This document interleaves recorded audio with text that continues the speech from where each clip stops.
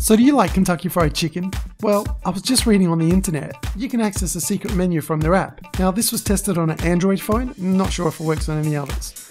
Go through the setup, find your location, and click on the order button. Wait, uh, wait a little bit more, and just a little bit more. From here, you want to drag down on the screen, revealing the little cartoon bucket. Wait about 11 seconds. 11. Ah, as in 11 herbs and spices. That's pretty cool. Now the secret menu is revealed. You will see it mentions this is updated regularly. At the moment, there's a selection of three different items, and you can select one of these and order it. There you go, KFC's secret menu. Well, I hope you liked this video. If you did, give it a thumbs up. Maybe leave a comment down below. Let me know if this works on other devices besides Android.